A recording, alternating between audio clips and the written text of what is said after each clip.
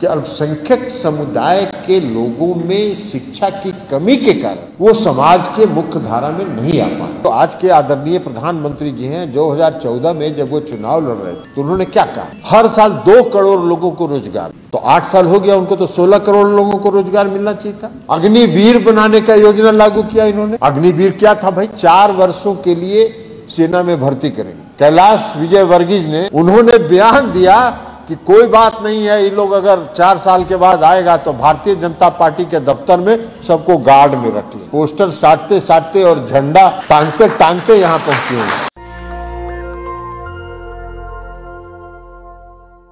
छह प्रकोष्ठ के अध्यक्ष उपस्थित हैं और सातों प्रकोष्ठ के आप सभी साथी उपस्थित हैं। तो मुख्य तौर पर आज चर्चा हो रही है सदस्यता अभियान पर। देखिए, पार्टी के संगठन के विस्तार के लिए अभी उपेंद्र कुशवाहा जी ने बताया। पार्टी के संगठन के विस्तार के लिए सदस्यता अभियान जो होता है, वो बहुत बड़ा औज़ार है। और उसके माध्यम से आप सदस्य बनाने के लिए जब आप प्रयास करते हैं तो उसके माध्यम से हर घर तक आप पहुँच जाते हैं। कोशिश ये होना चाहिए कि हर घर तक हम पहुँच जाएँ। और जब हम हर घर तक पहुँच जाएँगे तो बिहार का हमको नहीं लगता है कि कोई ऐसा घर है जो नीतीश कुमार जी के सत्रह वर्षों का जो शासनकाल रहा, उसका लाभ कोई ऐसा घर नहीं है जिस घर में उसका लाभ नहीं पहुँचा तो इसलिए आपको किसी घर पर जब चाहिएगा किसी के दरवाजे पर तो वहाँ निराशा हाथ नहीं लगेगी। संभव है, ये होता है कभी कभी प्रजातंत्र है, संभव है कि कुछ लोग वो सारी चीज़ को स्वीकार करते हुए भी आपके साथ नहीं जुड़ना चाहें, वो और किसी राजनीतिक दल के साथ उनकी प्रतिबद्धता होगी। लेकिन फिर भी उसके बावजूद भी वो नीतीश कुमार की तारीफ़ ज़रूर करें। तो ये आपके लिए सबसे बड़ी उपलब्धि देखिए, कई प्रकोष्ठ हैं। अनुसूचित जाति प्रकोष्ठ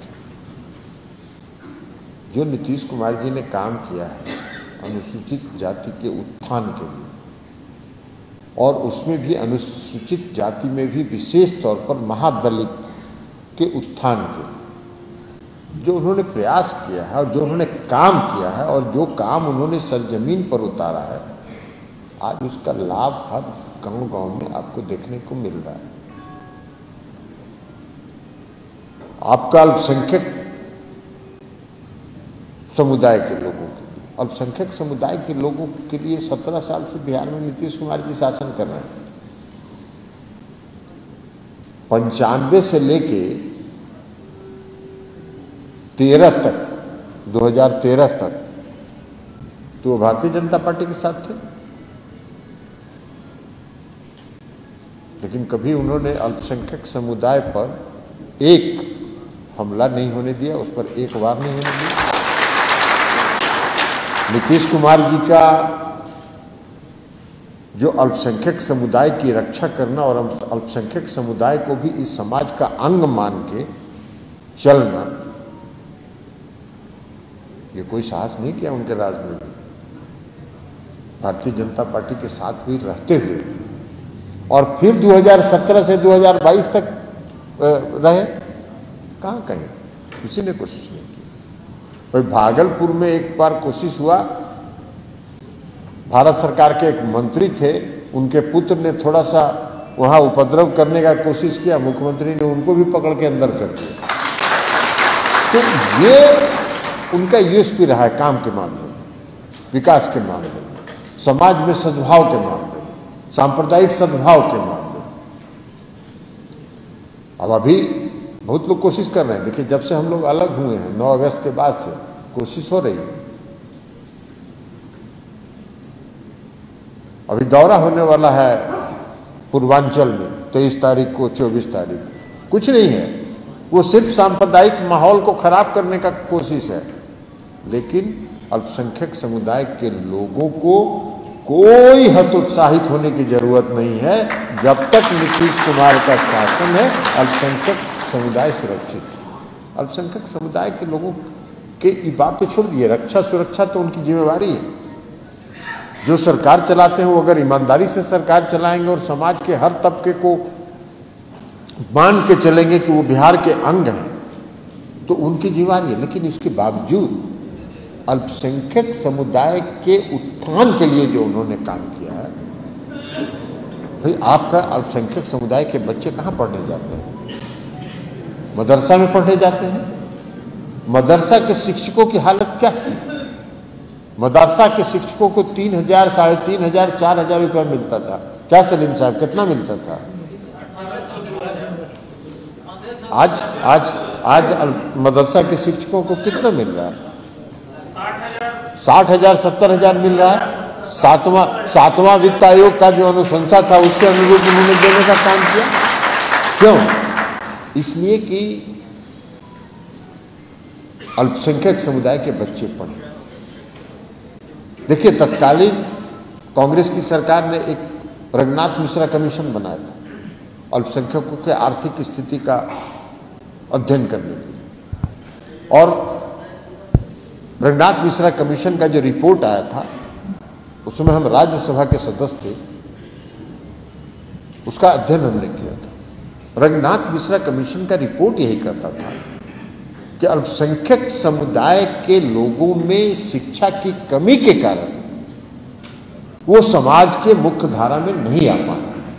और नीतीश कुमार जी ने अपने पूरे शासनकाल में अल्पसंख्यक समुदाय के बच्चे पढ़े, इसके लिए उन्होंने प्रयास किया और सारा काम किया।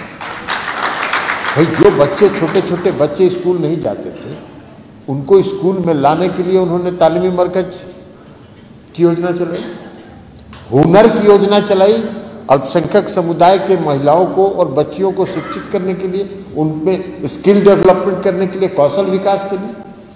तो ये सारा काम मुख्यमंत्री जी ने अल्पसंख्यक समुदाय के लोगों को आप अगर इतिहास आज़ादी के बाद से, आज़ादी के बाद से अगर इतिहास उठा के देख लीजिएगा तो आज़ादी के बाद से 2005 तक अल्पसंख्यक समुदाय के उत्थान के लिए जितना काम हुआ, और नीतीश कुमार जी का 2005 से 17 वर्षों तक का काम का अगर आकलन करिएगा तो नीतीश कुमार जी के किए काम का पलड़ा भारी आपको नज़र तो ये काम उन्होंने किया। अब युवा है दिव्यांशु भरद्वाज जी तो कह रहे थे, लेकिन उसके लिए सिर्फ़ भाषण देने से काम नहीं चलेगा दिव्यांशु जी। उसके लिए ज़मीन पर उतरना पड़ेगा। इसलिए कि युवा वर्ग जो है, वो देश के भविष्य हैं। आने वाले समय में हम लोग नहीं रहेंगे। कोई इसी में से, आप में से कोई युवा जो है, कोई युवा ही युवा ही आगे आएगा, मेरा स्थान लेगा, उपेंद्र कुशवाहा जी का स्थान लेगा, उमेश कुशवाहा जी का स्थान लेगा, नीतीश कुमार जी का स्थान लेगा। कौन आएगा? तो युवा देश के भविष्य, उनमें के बीच में उनको गठित करने के लिए, संगठित करने की ज़रूरत है और वो माध्यम, ज़रिया है आपको सदस्यता अभियान चला देखिए, युवा को माहौल माहौल बहुत ठीक है। भाई, प्रधानमंत्री जो आज के आदरणीय प्रधानमंत्री जी हैं 2014 में जब वो चुनाव लड़ रहे थे तो उन्होंने क्या कहा? हर साल दो करोड़ लोगों को रोज़गार देंगे। तो आठ साल हो गया उनको तो सोलह करोड़ लोगों को रोज़गार मिलना चाहिए था। तो हमको नहीं लगता कि सोलह लाख लोगों को भी उन्होंने रोज़गार देने का काम किया तो आज रोज़गार के लिए जो युवा भटक रहे हैं, उनके बीच आपको जाके उनको जोड़ने की ज़रूरत है। देखिए, आज आज की बहाली हो रही है। बहुत विरोध हुआ। बिहार में नहीं, देश के हर राज्य में विरोध हुआ। अग्निपथ योजना लागू किया इन्होंने। अग्निवीर बनाने का योजना लागू किया इन्होंने। अग्निवीर क्या था भाई? चार वर्षों के लिए सेना में भर्ती करेंगे। और चार वर्ष के बाद उनको रोड पर टहला देंगे। तो ये है रोज़गार का उनका नज़रिया। और आप लोगों को मालूम है कि नहीं, पता नहीं। कोरोना काल के पहले से 2019 से लगभग जो सेना में नियमित बहाली होती है, कैंप लगा के जो दौड़ लगाया जाता है और दौड़, दौड़ाने के बाद जो सिलेक्शन होता है, लगभग तीन लाख लोगों का सिलेक्शन हुआ हुआ तीन लाख नौजवान, नौजवानों का सिलेक्शन हुआ है। मेडिकल उनका हो गया, सब कुछ हो गया, लेकिन उनका नियुक्ति पत्र जारी नहीं हुआ और उस नियुक्ति पत्र के को बंद करके चार साल के लिए अग्निवीर का योजना चला रहे तो ये रोज़गार का उनका नज़रिया है। ये रोज़गार के प्रति उनकी सोच है। और अग्निवीर पर जब विरोध हो रहा था, लोग कह रहा था, नौजवान की भाई, चार साल के बाद हम कहाँ जाएँगे? हम तो किसी काम के नहीं बचेंगे। चार वर्ष के लिए अगर हम चले गए, अग्निवीर बन गए तो उसके बाद तो हम माथा पर पट्टा लगा के हम अग्निवीर हैं। रोड पर टहलते रहिए। कोई पूछेगा नहीं। तो उनके भारतीय जनता पार्टी के एक बड़े नेता हैं, महासचिव हैं उनके, कैलाश विजय वर्गीज ने, उन्होंने बयान दिया कि कोई बात नहीं है, ये लोग अगर चार साल के बाद आएगा तो भारतीय जनता पार्टी के दफ्तर में सबको गार्ड में रख लेंगे। ये सोच है। ये सोच है बिहार देश के नौजवानों के प्रति सरकार का और उस पार्टी का। आज आवश्यकता इस बात की कि आप युवा के बीच जाइए, युवा के बीच जाके उनको संगठित करिए और ज़्यादा से ज़्यादा युवा को अपनी पार्टी के साथ जुड़िए। उसका माध्यम क्या है? उसका माध्यम है आपका सदस्यता अभियान। तो इसलिए सदस्यता अभियान का जो काम है, वो बहुत ही मैंने संगठन को मज़बूत करने के लिए वो एक बहुत बड़ा ज़रिया है। तो इसलिए हम आपसे आग्रह करेंगे अब देखिए, पहले था जब हम पार्टी का काम हमको माननीय मुख्यमंत्री नीतीश कुमार जी ने जब सौंपा तो उसके पहले पार्टी के अंदर कई तरह के विरोधाभास थे। पार्टी का मूल पार्टी जिला में था, उसके बाद अलग अलग प्रकोष्ठ था अलग अलग प्रकोष्ठ में भी 35 गो प्रकोष्ठ था।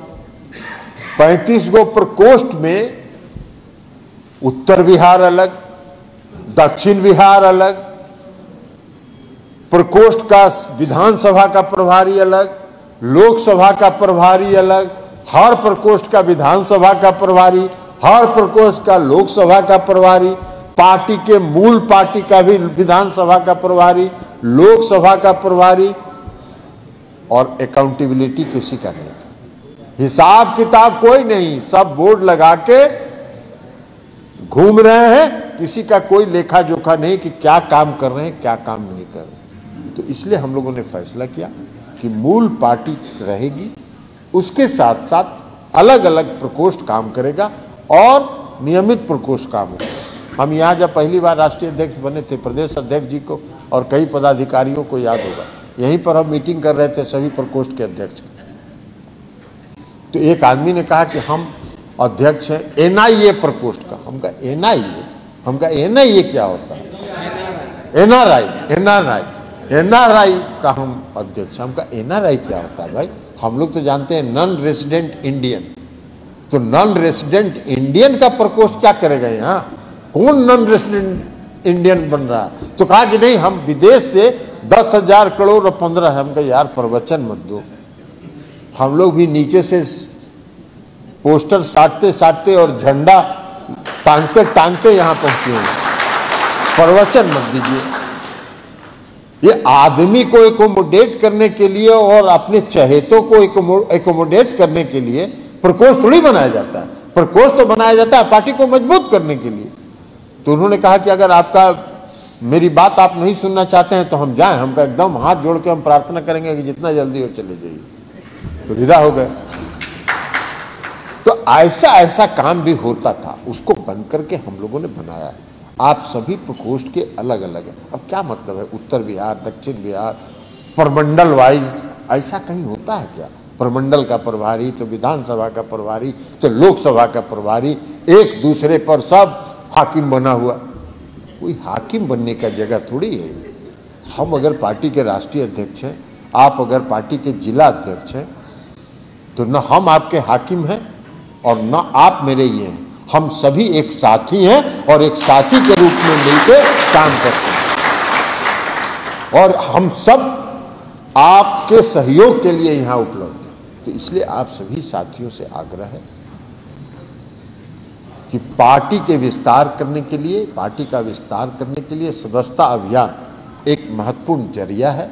इस ज़रिया के माध्यम से आप हर घर तक पहुंचिए। हर घर तक पहुंचिएगा तो कोई घर में, जैसे मैंने कहा आपको, कि किसी घर में आपको हो सकता है कि दस लोग, एक परिवार आपका समर्थक नहीं हो। लेकिन उस परिवार में भी खोजिएगा तो महिलाएँ आपको हर घर में आपकी समर्थक मिल जाएँगी। तो वहाँ भी दस आदमी का परिवार है तो चार गो तो ज़रूर आपका सदस्य बन जाएगा। तो इसलिए मेरा आग्रह है कि हर घर तक पहुंचिए और हर तक पहुँचने का लक्ष्य बनाइए। अभी उपेंद्र जी कह रहे थे बूथ की कमेटी बनाने का। हम लोगों ने प्रारंभ से शुरू किया था और हम लोगों ने सभी जिला अध्यक्ष को कहा था कि हर गाँव से, हर गाँव से दस कार्यकर्ताओं की सूची तैयार कीजिए। सूची आई जिला से। हम लोगों ने 25 लोगों को यहाँ बैठाया, आउटसोर्स किया कंपनी को, प्रोफेशनल लोगों को, और पार्टी दफ्तर से बैठा के जितना डाटा आया था मोबाइल नंबर सबका यहाँ से क्रॉस वेरिफिकेशन कराया। और जब क्रॉस वेरिफिकेशन कराया तो किसी जिला में 70 परसेंट, किसी जिला में 60 परसेंट, किसी जिला पर, में पैंसठ परसेंट सही मिला। 25 परसेंट, तीस परसेंट लोग, लगता है कि जिला में लोगों ने हिसाब किताब कुछ लगाया होगा पुराने डर्रे पर। उनको ये मालूम नहीं था कि नया डर्रा क्या होने वाला है। तो उसको जब हम लोगों ने चिन्हित किया कि ये ये ये ये नाम आपके यहाँ गलत आया है, फिर से जिला अध्यक्ष को बुलाया गया और जिला अध्यक्ष को दिया गया कि ये नाम आपका गलत है, ये टेलीफोन नंबर आपका सही नहीं है। वह भी जाके फिर करेक्ट हुआ और करेक्ट होके आया, उसका भी सत्यापन हुआ, लगभग दो लाख नहीं, दो लाख तीस हज़ार है करीब। दो लाख तीस हज़ार कार्यकर्ताओं का आज डाटा हम लोग के यहाँ जो हर गाँव में हमारे कार्यकर्ता हैं, उनका डाटा हमारे यहाँ प्रदेश कार्यालय में उपलब्ध है। अब हम लोग इसकी व्यवस्था कर रहे हैं कि हर दिवाली में, दशहरा में, छठ में, ईद में, बकरीद में, मुहर्रम में, हर पर्व त्यौहार में सबको यहाँ से राज्य पार्टी की तरफ़ से सबों को शुभकामना भेजा जाएगा। और सब लोगों, जो कार्यकर्ता गाँव में है, उसको भी लगेगा कि प्रदेश कार्यालय से हमको सम्मानित, सम्मान मिल रहा है और प्रदेश कार्यालय से हमको मिल रहा है। तो ये सारी व्यवस्था हम लोगों ने किया है।